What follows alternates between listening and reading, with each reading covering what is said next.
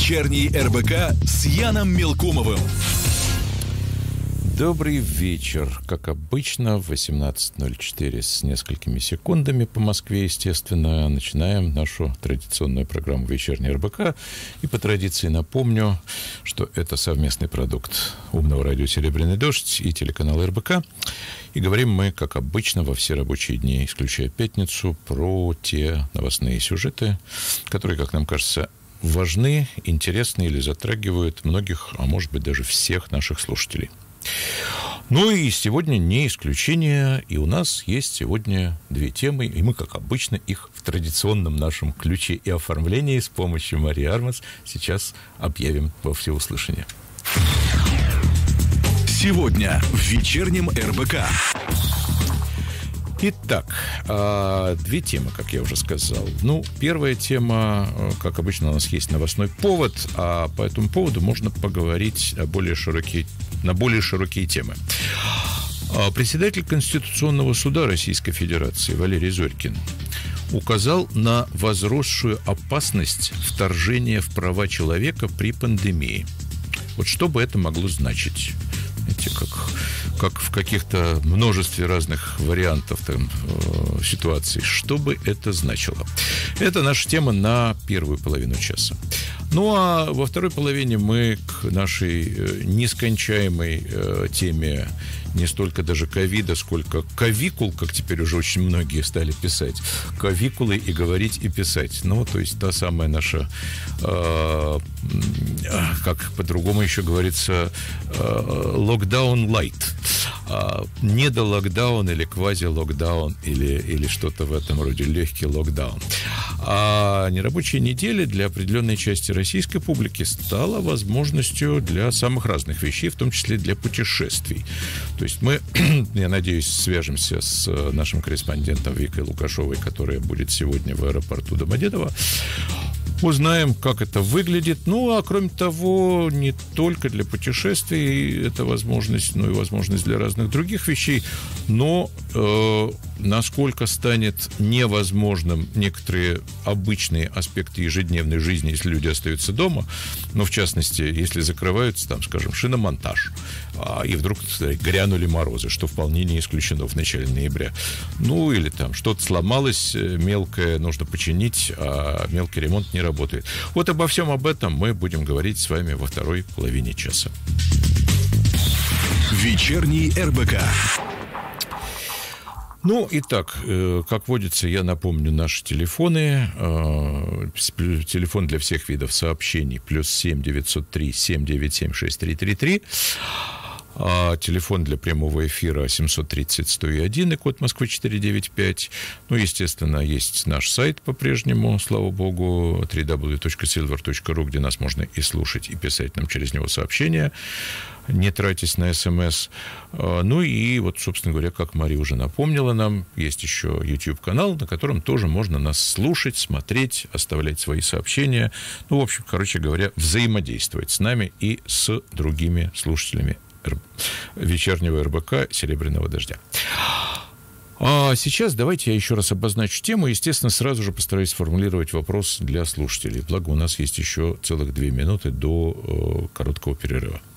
Итак, председатель Конституционного суда России Валерий Зорькин, который э, в этом году по-моему, в августе отпраздновал 78-й год жизни. Ну, то есть человек так сказать, не молодой, заслуженный, и уже который год является председателем Верховного суда России. Э, если я не ошибаюсь, 2003-го, до этого был еще некий период э, в 90-е годы. Так что давно на этой должности. Так вот, э, председатель Конституционного суда России опубликовал статью в российской газете. А, вчера это было. И э, сегодня коммерсант и некоторые другие издания, и РБК в том числе, обратили внимание на то, что в этой статье, она довольно длинная, в ней, вот когда я ее распечатал э, в Word э, Кеглем 12 в Times New Roman, то получилось 10,5 страниц.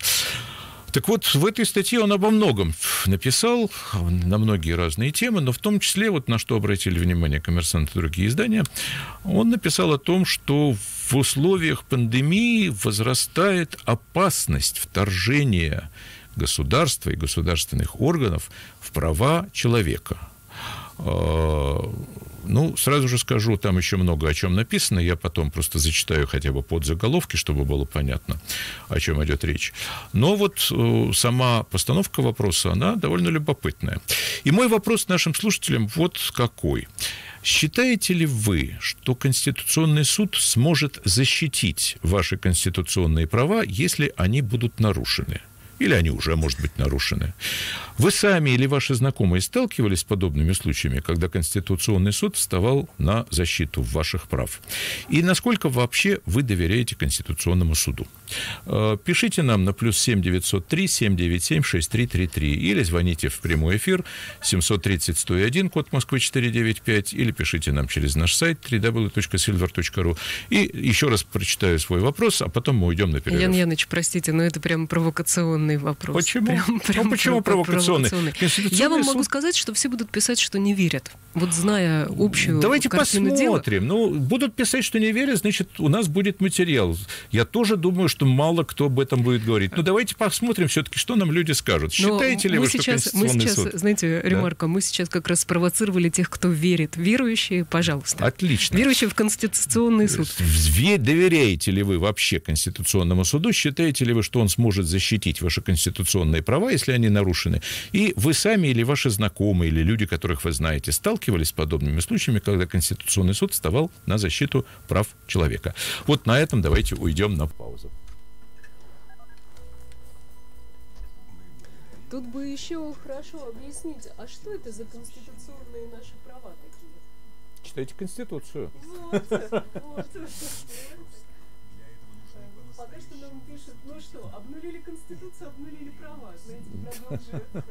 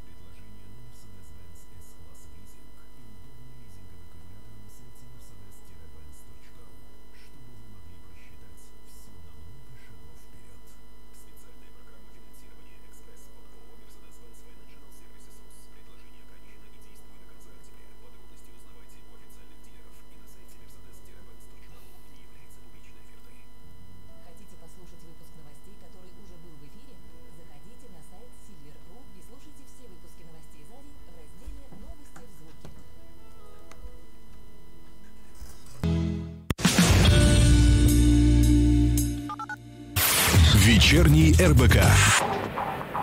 И мы продолжаем нашу программу. Напомню еще раз мой вопрос, хотя на него уже пишут довольно активно. Сейчас зачитаю кое-что из первых сообщений. А, мы говорим, соответственно, о том, что председатель Конституционного суда указал на возросшую опасность вторжения в права человека при пандемии. И вопрос мой звучит так. Считаете ли вы, что Конституционный суд сможет защитить ваши конституционные права, если они нарушены? Вы сами или ваши знакомые сталкивались с подобными случаями, когда Конституционный суд защищал права человека? И насколько вообще вы доверяете Конституционному суду? Пишите нам на номер плюс семь девятьсот три семь девять семь шесть три три три. Телефон прямого эфира у нас все тот же 730 101, код Москвы 495. Ну и сайт, соответственно, через сайт нам можно и слушать нас, и писать www.silver.ru kp.ру. Тут, Ян Яныч, да. надо бы нам напоминать периодически, а что такое эти самые конституционные права? Вот о чем конкретно идет да, речь? Откройте, откройте Конституцию, там в первой части, в самом начале говорится о правах человека, о социальных правах, о политических правах, о правах, там, скажем, собираться мирно и без оружия, mm, высказывать так, так свои вот требования. Это что было, да? Э, и это тоже, и много всего другого. Собственно говоря, Конституция-то у нас совсем неплохой документ. Если его читать внимательно, там много хороших вещей записано. Если, если ее исполнять, я бы еще сказала. А то обнулили Конституцию, обнулили права. Или, или все-таки нет? Ну, кто-то считает, что нам добавили прав, э, там записали права на пенсионное обеспечение, хотя они раньше, по-моему, там фигурировали, записали права на медицинское обслуживание, хотя они тоже там были. Ну, так или иначе. Вот э, давайте я несколько, э, ну, относительно коротких сообщений прочитаю, потом зачитаю хотя бы основные вещи из статьи Зорькина, а потом мы поговорим с экспертом. А, ну вот э, Станислав из Пятигорска, один из первых, э, кто откликнулся на э, мой вопрос, написал он так. Валерий Зорькин, испортивший карму на 300 лет вперед робкими заявлениями, не исправить. Сейчас много заявлений от лиц, от которых меньше всего этого ожидаешь. Видимо, мы чего-то не знаем. Совесть вряд ли. Как говорится, поздно пить боржоми, товарищ Зорькин. Суд – это где-то там, за океаном, когда федеральный судья может отменить указ президента. У нас это mission impossible. Вот такие мнения высказывает у нас Станислав. И еще кое-что. А, так, Конституционный суд настолько изменился, что прошлый опыт уже не играет роли. Теперь я никаким госструктурам не доверяю. А, так, ну хорошо, давайте. Тут у нас много еще всего э, всего сказано. Так, э, скорее всего, из слов судьи следует, ребята, ваши права будут нарушены, и так будет. А мы, судьи, в курсе, но нам плевать. И продолжение этого же. Ответ на ваш вопрос. Конституционный суд ничего давно уже не может и не хочет. Никакой защиты не будет, и видим мы это каждый день. Ну, в общем, да, Мари была права. Пока что мы не видим оптимистов по поводу Конституционного суда. Но все-таки давайте я хотя бы вкратце э, прочту сначала то, на что обратили внимание коммерсант и другие издания – а потом просто перечислю подзаголовки из гораздо более длинной статьи э, Валерия Зорькина. Э, значит, э, так, вот основные моменты, на которые обратили внимание. Э, права и свободы человека могут быть ограничены законом, дальше идет цитата, только в той мере, в какой это необходимо в целях защиты основ конституционного строя, нравственности, здоровья, прав и законных интересов других лиц, обеспечения обороны страны и безопасности государства. Такая общая формулировка, это, собственно, цитата из Конституции российской, это часть 3, статья 55. Такая общая формулировка, дальше уже идет текст самого Жиркина, таит в себе опасность неоправданно широкого толкования и установления на практике чрезмерных ограничений прав и свобод человека для защиты ценностей общего блага. Опасность произвольного вторжения законодателя в сферу конституционных прав человека резко возрастает в условиях усиления террористической активности, социально-экономических, экологических кризисов и пандемий. Это вот конец цитаты Зорькина. И еще одна цитата Зорькина, ну такая уже в свободном пересказе. В этих условиях у органов госвласти возникает большой соблазн пойти по пути, вот это уже цитата, пойти по пути ограничения прав граждан, чтобы защитить права и законные интересы других лиц, конституционного строя и другое. Однако жизнь показывает, идет дальше тоже точная цитата, что этот более легкий путь далеко не всегда бывает верным. Э, по его мнению, если двигаться по этому пути, то не очень далеко и очень осторожно. Он считает, что созданные для защиты, э, для защиты э, от угроз законы должны быть оправданы защитой конституционных ценностей и не должны вести к нарушению прав и свобод. Ну и в заключение, значит, Конституционный суд выработал правовые позиции о допустимом уровне ограничения прав и свобод. И, как пишет господин Зорькин, суд опирается на свой опыт, практику Европейского суда по правам человека и опыт Европейского конституционного правосудия. По его мнению, Конституция России содержит принципиальные требования, касающиеся правомерности ограничения этих прав. И понимание Конституционным судом критериев ограничения прав человека находится в русле общего подхода, выработанного конституционными судами Европы. Вот так вот считает господин Зорькин. А, ну, на мой взгляд, довольно неожиданные слова в устах председателя Конституционного суда. Так мне кажется, на фоне того, о чем э, люди, в том числе и э, с юридическим образованием и с юридическим подходом, говорили э, последние лет так семь приблизительно. Ну а теперь я просто зачитаю вот отдельные из, из общей уже большой статьи Зорькина в российской газеты. Я зачитаю э, буквально под заголовки и очень короткие цитаты. Эм, так. Сложившаяся ситуация по-новому высветила проблему правового развития. Ну, Зорькин говорит о том, что есть масса кризисов, и постковидный мир уже не будет прежним. Но каким же он будет?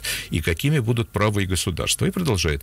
По-новому высветила проблему правового развития. Право должно вобрать в себя представление о человеке, его правах и свободах как высшей ценности для государства, и одновременно о человеке как части народа, соединенного общей судьбой на своей земле, и о человеке, являющегося частью человеческого рода, человечества как цивилизации цивилизации права. Вот это интересно. Почему цивилизации права? Это актуально прежде всего в связи с новыми биотехнологиями, вторгающимися в природу человека.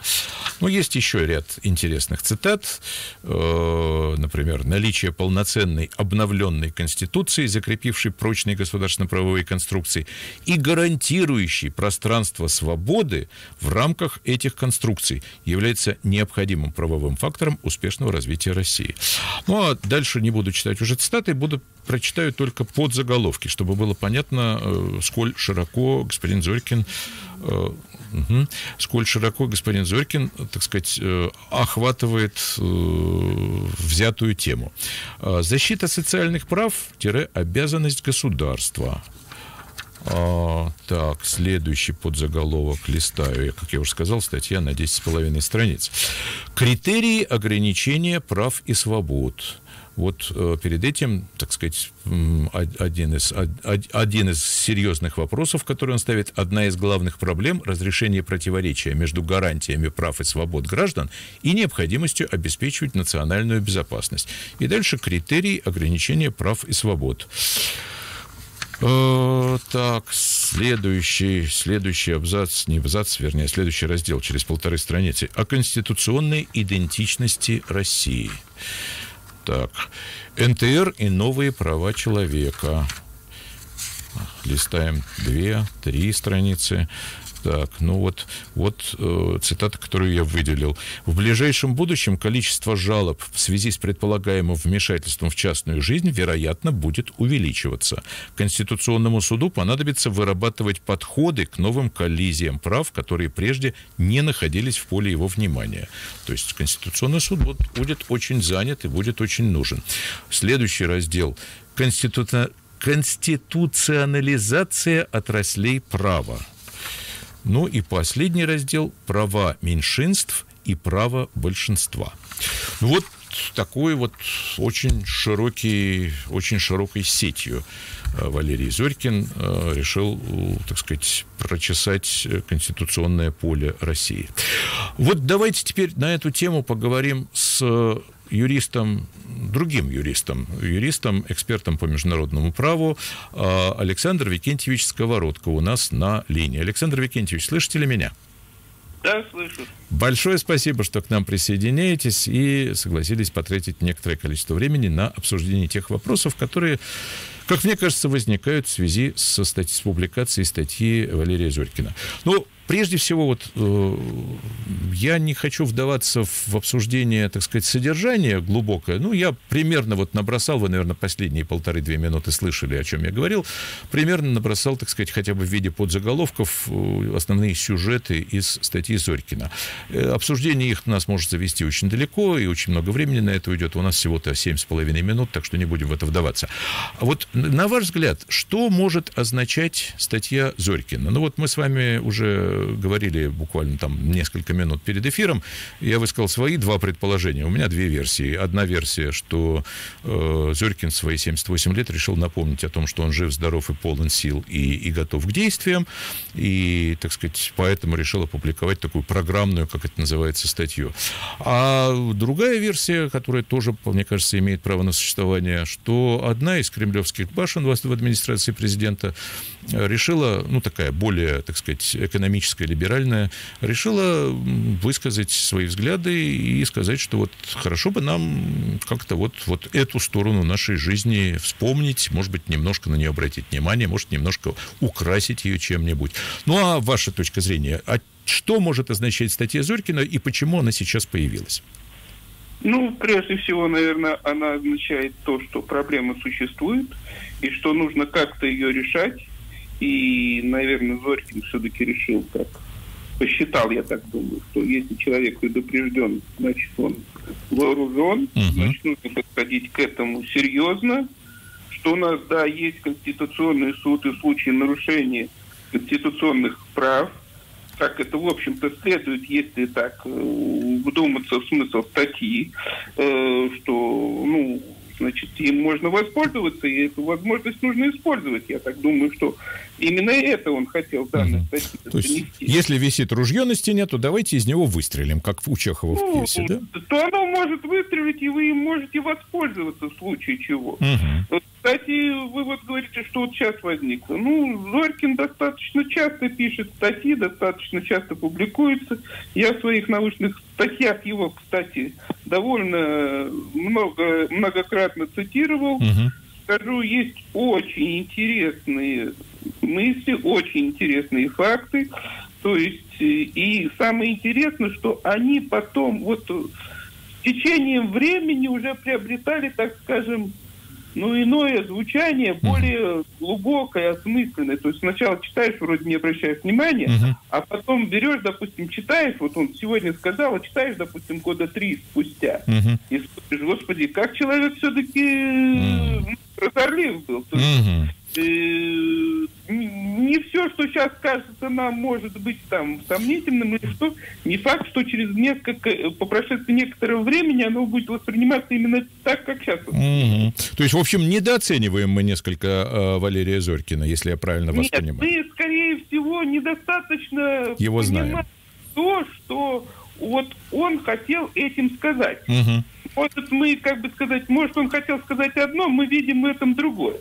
Но в любом случае он сказал то, что, например, то, что я так понимаю, что Конституционный суд еще существует, но что сейчас существуют определенные проблемы, и нужно к Конституционному суду относиться серьезно. Угу. Нужно, наверное, каким-то образом, ну, использовать его потенциал, возможно, усилить как-то его позиции, может быть, усилить благосостояние судей Конституционного суда, повысить оклады, увеличить штат, Э, увеличить полномочия. И, кстати, как-то вот там же тоже идет, что вот там внес законодательные инициативы. Для чего он внес? Ну, для защиты прав граждан, для защиты прав судей тоже, кстати, гражданами является, и Конституционного суда тоже. Угу. Вот, то есть, э, как есть... бы сказать, это, ну, это нормальное явление. То есть такой Более прагматический того, подход, вы полагаете, у него в данном случае? Не только напомнить о себе, но и напомнить о Конституционном суде, да? Так я да, понимаю? более того, я скажу такую интересную вещь, да. что, например, вот мы все хаем там наши суды. Ну, я скажу, что прошел от мирового до и выиграл от мирового до это до Страсбургского суда. Я вам скажу, что в Конституционном тоже я в свое время засветился. Так. Скажу, что Конституционный суд на порядок скоротечнее, чем Страсбургский суд. Это факт. Понимаете? Вот. И, то есть, э, на самом деле, существует механизм. Другое дело, что не каждый им спешит воспользоваться, не каждый может им воспользоваться, не каждый верит в возможность того, что это возможно. Да, и вы знаете, вас... из наших слушателей я пока что не вижу ни одного, который сказал бы, что да, я верю. Нам много сейчас вот пишут, я не буду сейчас просто цитировать, а, но ни, ни один из тех, кого я успел прочитать, ни один из них не сказал, что Конституционный суд – это орган защиты прав граждан. Пока что такого я не увидел. То есть поэтому, конечно, аудитория «Серебряного дождя» может быть не репрезентативная выборка всего российского общества, но я сильно подозреваю, что в российском обществе отношение к Конституционному суду либо не знают вообще о его существовании, либо думают, что это какое-то такое украшение витрины. А вы как полагаете? Вы знаете, у меня был один клиент, так. обратился в, Европе... Ой, в Европейский, э, в Конституционный суд. суд. Так. И дело пошло то, что шло к тому, что он мог это дело выиграть в Конституционном суде. Так. Но то ли он испугался, то ли он э, засомневался. Угу. В последний момент он дал задний ход, и дело осталось без рассмотрения. Угу. Ну, Хотя... и, или кто-то был очень сильно заинтересован в том, чтобы дело не шло к рассмотрению, и поэтому ему вежливо объяснили, что не нужно давать ход этому делу. Такое могло быть? Стране, наверное, все может быть, но я думаю, что такой вопрос, такой подход вряд ли здесь возможен, потому что было решение, я почему говорю, что было решение Конституционного суда по очень похожему делу, а если Конституционный суд выносит в отношении какого-то дела, ну, решение, то оно уже обязательно при вынесении другого. Понимаете? Аналогичного. А у него уже было. То есть он имел шанс очень хороший. Но почему он не стал, непонятно. Понятно, понятно. А, Александр Викентьевич, у нас, к сожалению, остается буквально одна минута. А, два очень коротких вопроса. Вы видите в этом какой-то скрытый смысл? Или э, вот статья означает ровно то, что а, в ней написано? И второй вопрос. Э, как, по-вашему, это личная инициатива Зорькина? Или это Зорькин в качестве рупора чего-нибудь выступает? Ну вот у нас буквально 50 секунд. Я думаю, с последнего начну, что это личная инициатива Зорькина, потому что он довольно часто выступает. Так. Но а насчет смысла, скорее всего, что не, не, не, это не только то, что лежит на поверхности, смысл какой-то еще есть, который мы сейчас, наверное, все-таки не видим. И просто со временем, может быть, он раскроется, как бы глубокий смысл познается не сразу, как говорил Хаджан Средин. Хорошо, спасибо вам большое. Это был Александр Викентьевич Сковородко, юрист, эксперт по международному праву. Нам, к сожалению, как всегда, не хватает времени, приходится уходить на рекламную паузу, но, с другой стороны, это и хорошо.